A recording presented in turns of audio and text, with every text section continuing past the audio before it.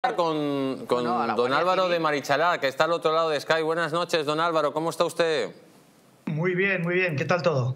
No sé si ha estado usted escuchando todo lo que hemos ido hablando, pero la pregunta que le hacemos, eh, yo se la hago a usted eh, y a ver si es capaz de explicarla.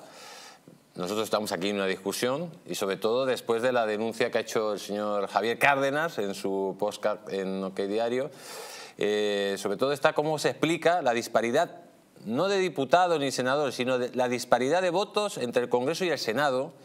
Dice, porque alguien se cree que 800.000 españoles han votado al PSOE para el Congreso y al PP para el Senado. Esa es la, pregunta. Y hemos visto, por ejemplo, hemos puesto dos ciudades, Madrid y, Sevilla, perdón, Madrid y Valencia, donde eh, pues el voto, la, mayoría de la gente que votaba al PP al Congreso, pues votaba al Senado. Entonces, eh, al parecer, hay un alto cargo de la policía que ha dicho que esa disparidad eh, la ha producido un software que, que habría que investigar. Bueno, la disparidad es clara, es muy, muy sorprendente, es raro, es extraño, no cabe duda. lo que es más raro todavía es que pleno pues 2023 eh, en Europa estemos discutiendo si un vigilante o un vigilante o la policía denuncia o no denuncia, en fin. Eh, la sensación de tongo es general, la sensación de manipulación de los resultados es absoluta. Yo no tengo prueba, claro, es el problema. La prueba es lo que tenemos que conseguir y hay que conseguir esa prueba y esa prueba hay que apelar a las personas, pues a los mismos programadores de Indra o quien sea que... Claro, lo primero de todo que hay que decir, que como tú muy bien dices, eh, nosotros estamos, estamos haciendo, ha habido denuncias, especulaciones, pero y, estamos sacándolo para que la gente pues opine y lógicamente saque una conclusión. Si tuviéramos las pruebas directamente íbamos al a la, policía, ¿no? Pero es verdad eh, que, este chivatazo a un periodista que lógicamente no puede revelar su fuente, de que diga que, de que esto ha sucedido por, un software determinado, pues es, llama la, bueno, levanta la alerta general, ¿no? Totalmente. El problema es que estamos en una sociedad, estamos en España actual desde hace ya muchas décadas, eh, estamos en precario. O sea, las pruebas se hacen desaparecer, miren los trenes, eh, las pruebas se hacen desaparecer, cuántos etarras están en la calle, cuántos casos de asesinatos están sin esclarecer. En fin, eh, tenemos una justicia al servicio de los políticos. O sea, es una democracia tutelada por la izquierda, claramente, desde hace 40 años, y eso, y más ahora, con, con, este Tribunal Constitucional absolutamente al servicio del dictador Sánchez, la Fiscalía del Estado, y lo contamos, en fin, estamos en precario, estamos en precario. O sea, la mitad de España, la, mitad de España al menos, como mínimo, la mitad de España que no pensamos en la clave de la banda PSOE, pues estamos, estamos en precario.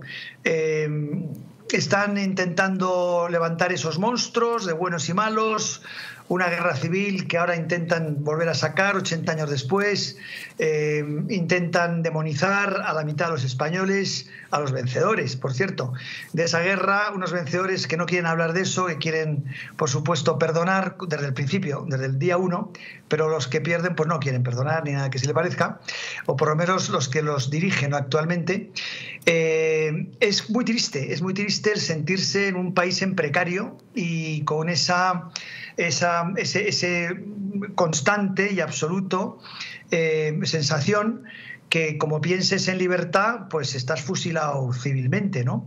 Y eso lo estamos viviendo todas las personas que pensamos contra el sanchismo, contra el socialismo y, y con el sentido común. Si además ahí tenemos un Partido Popular, heredero de Alianza Popular, que era un partido fundado por Frager Ibarne con una clara voluntad de ser un partido de, derecha, de derecha y de sentido común, eh, que se está acomodando al viento que mejor sople con tal de tocar poder, pues estamos vendidos. Eh, es muy triste la situación y lo que tenemos que hacer es pedagogía, tenemos que involucrarnos todos, los 11, 12 millones de personas que no queremos que nuestro país nos lo robe la mafia política, pues tenemos que ponernos de pie y tenemos que empezar a tomar esto muy en serio, porque es que nos están robando la cartera. Así de fácil. Y don Álvaro, había que investigar esto, pues, lógicamente eh, lo que usted ha dicho, que nos han robado la cartera, y habría que investigarlo contra las fuerzas.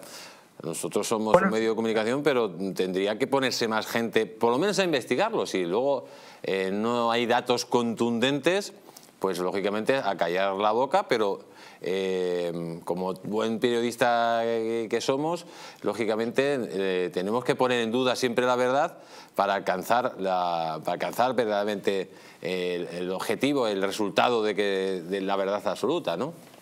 Absolutamente. Lo que hay que hacer primero es que los procesos después de las votaciones, todos estos procesos de reconteo, todos estos procesos sobre todo electrónicos, eh, después de los escándalos que hemos visto en Venezuela, en Bolivia, en Ecuador, en fin, en Brasil, en Estados Unidos, en todos lados, pues que todos esos procesos estén muchísimo más fiscalizados, controlados, asegurados. Ahí tenía que haber pues personas realmente independientes que estuvieran detrás de esos procesos electorales.